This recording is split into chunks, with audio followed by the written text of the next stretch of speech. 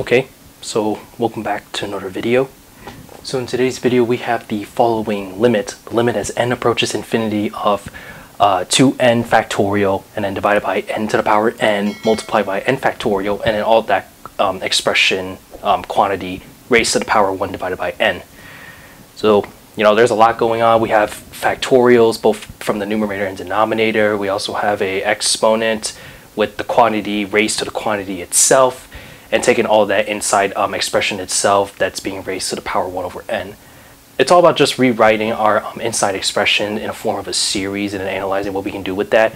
Rewriting, uh, of course, that it's expression itself, I already said that. Um, and then eventually, once we get to, I'd say, the last couple steps, it's actually really neat because it's going to convert into um, something that it's actually very recognizable to the point that's using, using by definition, of course but I won't spoil too much of that because eventually we're going to get to that and I wouldn't want to ruin much of the fun. So anyway, we can just um, jump right ahead in. Okay, let's actually just define our uh, given expression. I'll just call this capital L. And let's say let's set that it's the limit as n approaches infinity of this entire given 2n factorial divided by n to the power n, then times n factorial, all to the power 1 divided by n.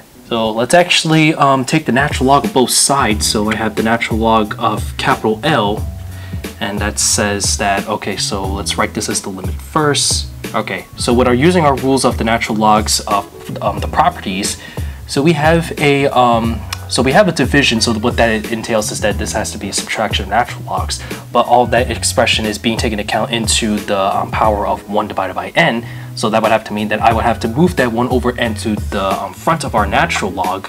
So here we have factorials associated, so what I'm going to do in this case is I'm actually just going to keep that the way it is um, with the factorial itself of that natural of the natural log of the factorial, it's better to say it. So that means that'd be the natural log of uh, 2n factorial, then divided by n factorial, okay? And then now we have, it's under division of um, n to the power n, so we have to subtract that. And then since it's the exponent n, so I'll move that to the front of the natural log, so that means this is just n, then times ln of n. We're going to observe what the expression is doing over here, but first let's actually take into um, focus on what the natural log of 2n factorial divided by n factorial is doing. So I'll just call this little expression, um, we'll call this series um, capital N, or sequence in other words. So we want to rewrite this expression here, but let's actually analyze like what the behavior is doing before we can actually rewrite this in a term of a series. Okay, so let's actually start with just um, the first um, the first index, um, a sub 1. Okay, so a sub 1, so if we were to plug this in, so we have the natural log of, so you see we plug 1, so it's 2 factorial, and then divided by 1 factorial. And so if we write this out, this is actually just um, ln of 2, right? And let's um, write out, let's write out two more, let's write out a couple more terms, maybe two if that works. So we have um, a sub 2, so that means um, this will be 4 factorial and then divided by 2 factorial. So we use the rules of factorials, that means it's just canceling out. So this will be just left with the natural log of, um, I won't multiply the product, the I won't multiply in full in the expression, I'll just write it as product. So in this case, this is just be 3 times 4.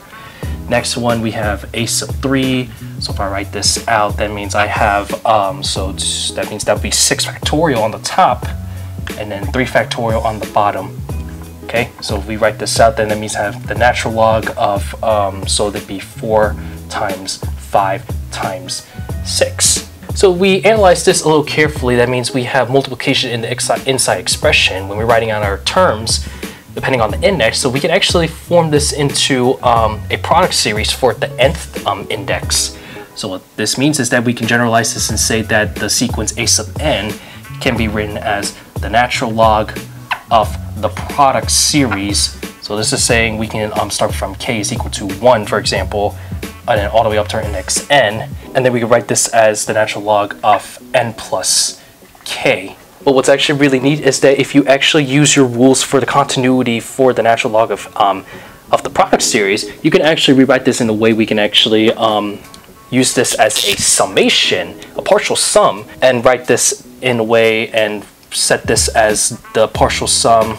This is going from the nth term starting from k is equal to 1 of the natural log of n plus k.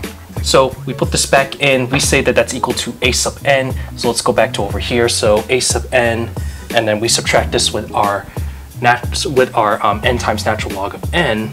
So we just put this back in, so that means next we have we just put it we just put it back in. So this be the partial sum k is equal to one of the natural log of n plus k, and then we subtract this with n ln of n but um, so you might be thinking to yourself, um, is there a way to rewrite this and simplify this out further? And the answer is yes, we can. Here's something to analyze over here. Notice that, um, so I'm going to switch back to the black. Notice that n times ln of n, we can actually write this in a form of um, a partial sum.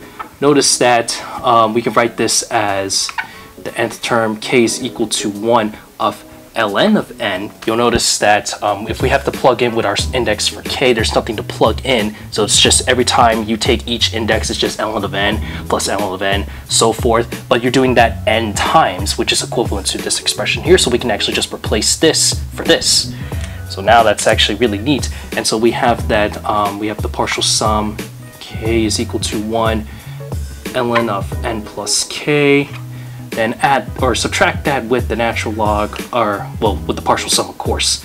k is equal to 1 of ln of n. And if we just use our sums of um, series, we can actually just combine this onto, well, not sum, but our rules for the algebraic um, sums. We can combine this together into one sum.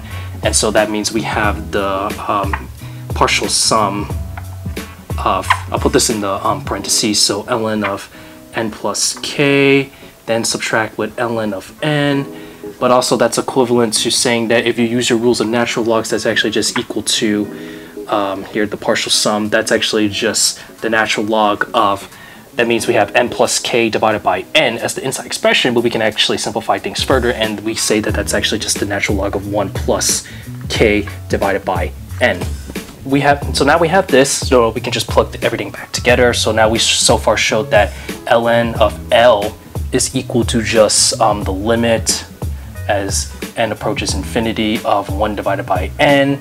Then replace this inside expression with our um, partial sum. So this is just multiplied with the partial sum.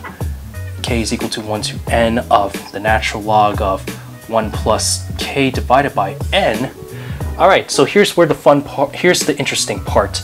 So if you take a look closely, you actually can see that with, um, with the right with the right tools and the pieces together, this actually forms the definite using by the definition of a definite integral.